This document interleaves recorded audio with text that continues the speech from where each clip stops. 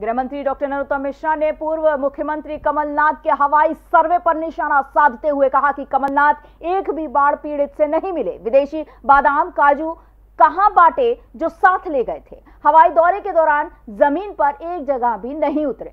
गृह मंत्री नरोत्तम मिश्रा ने कहा कि कोरोना के कल 10 नए मामले आए हैं 16 लोग ठीक हुए हैं, एक सौ बासठ एक्टिव केस बचे हैं, इकहत्तर हज़ार सैंपल लिए गए हैं। उन्होंने कहा केरल, महाराष्ट्र में केस बढ़ने पर अब कोई क्यों हल्ला नहीं कर रहा है पूर्व मुख्यमंत्री कमलनाथ के हवाई सर्वे को लेकर उन्होंने कहा कि मुझे एक बात समझने में नहीं आ रही है कि जब गाँव में बाढ़ नहीं थी तो उन्होंने क्या देखा? नदी में पानी था? क्या वो देखा है? कमलनाथ ने इस उम्र में इतनी ऊंचाई से हालात देख लिए? वे एक भी बाढ़ पीड़ित से नहीं मिले। उन्होंने कहा, जब हम बाढ़ पीड़ितों के बीच गए तो सब्ज़ी पूड़ी लेकर गए।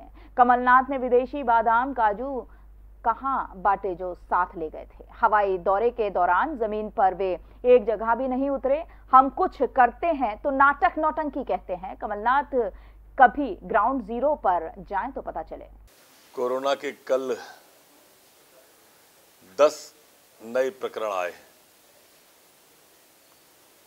जबकि ठीक होकर घर पर जाने वाले 16 लोग मध्य प्रदेश में एक्टिव केस एक सौ बासठ वर्तमान में है।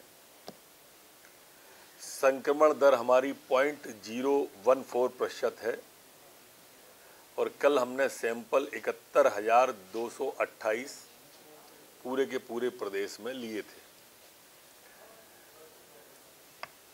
हमारे सैंपल की संख्या में हम सत्तर हज़ार से कमी नहीं लाएँगे। मेरी एक बात अभी तक समझ में नहीं आ रही। आप समझाएँ या माननीय कमलनाथ जी मुझ जैसे छोटे व्यक्ति को क्या समझाएँगे? पर उनका कोई गण अगर जवाब दे सके तो दे कि जब बाढ़ गाँव में थी नहीं तो उन्हें बाढ़ का पानी कहाँ दिख गया? जब वो गए तो किसी गाँव में पानी था नहीं। नदी में पानी था। तो वो तो रोज हवाइया से चलते हैं तो देखते ही होंगे नदी का पानी। एक। दूसरा बाढ़ के बाद के हालात। इस उम्र में एक किलोमीटर की ऊंचाई से वो कौन सी दिव्य दृष्टि या गिद्ध दृष्टि उन्हें प्राप्त थी, जिससे उनने नीचे के हालात देख लिए, ये भी ज़रूर कोई बता है। तीसरा, एक भी बाढ़ पीड़ित से मिले नहीं। नॉट ए सिंगल मैन एक भी गाँव में गए नहीं। एयरपोर्ट टू एयरपोर्ट में उनने बाढ़ की विभीषिका से कैसे अवगत हुए, बताएँ।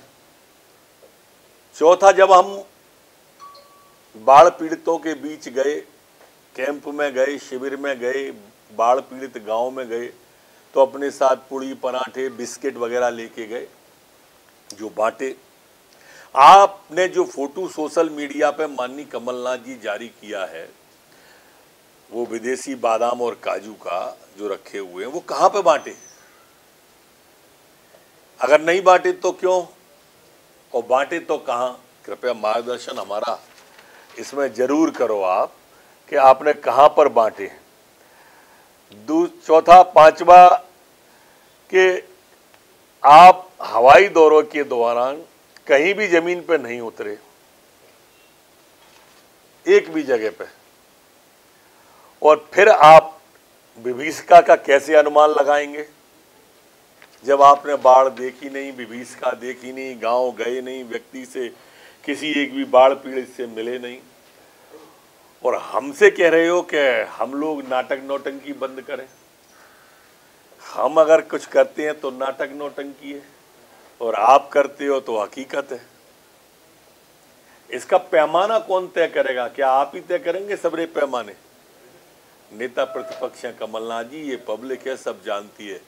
कभी गाँव में जाओ तो पता चले कभी ग्राउंड ज़ीरो पे जाओ तो पता चले कभी जमीनी हकीकत जानो तो पता चले। हवा हवाई राजनीति आप कर रहे हो इसलिए जनता ने हवा में उड़ा देती है। संगीत की स्वर लहरियों से सांस्कृतिक ताने बाने तक चंबल के पीड़ों से नक्सलवादियों के गढ़ तक झोपड़ी से महलों तक। ठेलों से मेलों तक। पगडंडियों से सड़कों तक। गाँव से शहरों तक। व्यापार से उद्योगों तक। राजनीति से कूटनीति तक। दखन न्यूज़। आपके हक।